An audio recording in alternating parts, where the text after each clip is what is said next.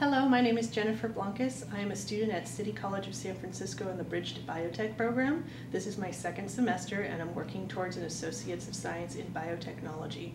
About my story, I would say that um, I have a bachelor's degree but in theater, theater arts.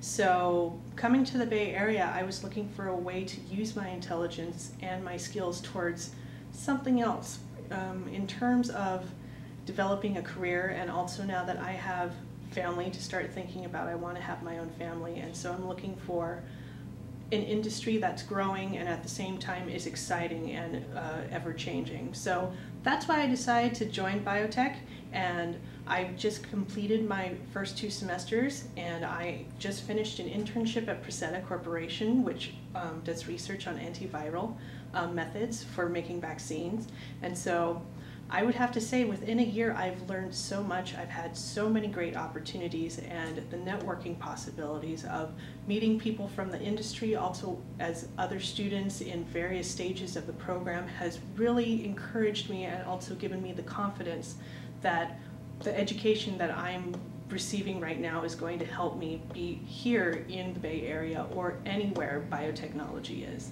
So I definitely recommend it for anyone who's looking for something that's challenging, fun, and exciting.